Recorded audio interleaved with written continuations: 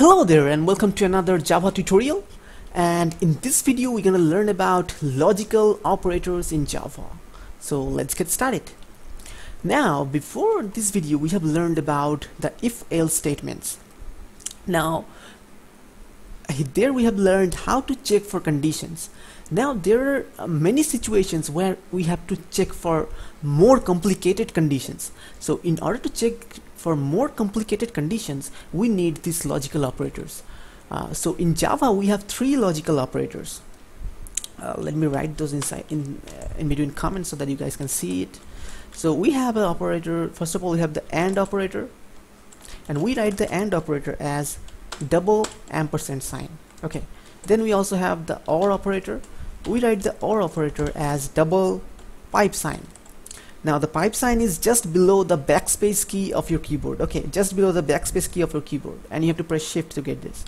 And we also have a not operator. And we write the not operator as exclamation sign. Okay so we have three logical operators in Java. The AND operator which is this. The OR operator which is this. And the NOT operator which is this. Now let's see how can we use these things in Java. So inside if as you have seen that inside if we just put a condition. We just put a condition. We check for it if it's true. If the condition is true then we do this then we do this stuff inside these braces. So here after the in uh, after knowing about these logical operators we can check multiple conditions inside an if statements. Okay. So first of all let us learn about this AND operator. So suppose we have two conditions. So first of all we write the condition 1 then we write the AND operator AND operator and then we write condition 2 and then we do this. So if condition 1 is true and condition 2 is true only then we'll do this. Okay.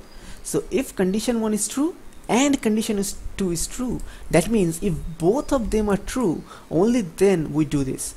If one of them are false one of them is false then we don't do this. We just skip this. Okay. So let's learn that with an example suppose I have a variable a and the value of it is 3 and I have a value variable b and the value of it is 5 so let me check if a let me put it inside if a is less than 5 and b is greater than 3 then I want to print system.out.println yo. So what this will check is it will check if a is less than 5 yes a is less than 5 and b is less than 3 yes b is less than 3 so let's go and do this. So let's run this now. As you can see uh, it prints yo. So that means this condition is true and this condition is also true. That is why this is executing this now let me go and uh, make one of these conditions false. Suppose I make the value of a 6 so now a is not less than 5 a is 6 so a is not less than 5 so one of these conditions is false. So one of these conditions is false now. So this will check if this is true. No it is not true. So don't execute this. Now if I run it it will not print anything. Okay now if I run it as you can see this will not print anything because one of those conditions is false. And according to the logic of this AND operator if one of these false it doesn't execute this. Okay so this is the AND operator. Now let us learn about the OR operator. So let's in between put OR operator. This is OR. So what OR does is it checks if this is true or this is true then do this so if one of these conditions is true maybe one of these conditions is true maybe other one is true one is false or maybe both of them is true only uh, then we execute this. So uh, in order to uh, in order for the OR operator to execute this one of these conditions needs to be true. Only one not two. Okay in case of AND we had to uh, check for that both of these conditions to be true but in case of the OR operator only one of them needs to be true. So here as you can see that a is not less than 5 so the first condition is uh, it's freezing again. Uh, so the first condition is not true but the second condition is indeed true.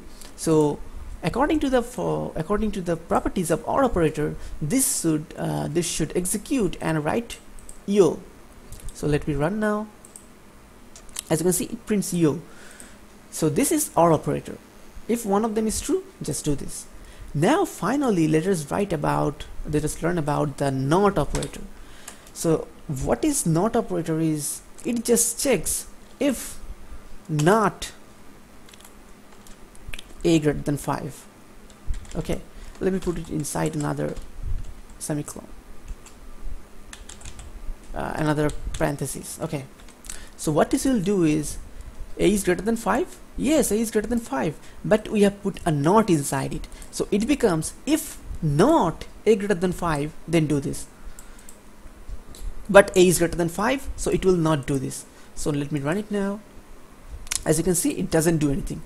Now if I write this uh, a is less than uh, a is less than 5 now you know that a is 6 so a is greater than 5 so this condition is false. But since we have put a not before this so this will check if not a less than 5 yes a is not less than 5 then do this. Now if I run it as you can see it prints yo so this was the very basics of logical operators in Java I hope you guys uh, learned something and enjoyed this video. If you have any questions, just write those in comments and I'll be happy to answer all those questions. So thank you very, very much for watching and please, uh, please, please subscribe and like this video and share it and I will see you in the next video. Thanks.